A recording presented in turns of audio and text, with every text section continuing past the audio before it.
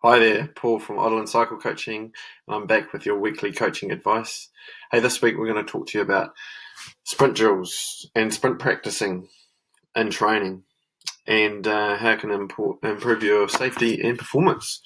So, the purpose of these drills is to not only uh, improve that safety and, and performance while um, racing and, and well, being in races that finish in bunch sprints, but also in training. Okay, well, um, contact can be made at any time between cyclists.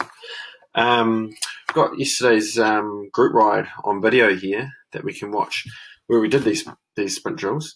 Now, what we did, which is not caught on camera, but we first of all started by practicing riding shoulder to shoulder. So that's handlebar to handlebar, so we're nice and even on the road in pairs. Next thing we did was practice putting a hand on the shoulder of the person next to you. Then we progress to nudging elbows, then um, leaning. And then when we get to this video here, uh, you'll see um, the final progression, what you can practice, is uh, the person on the outside here is actually barging into the person on the inside. The person on the inside is aiming to hold their line, while the person on the outside is going to come from behind and hit them.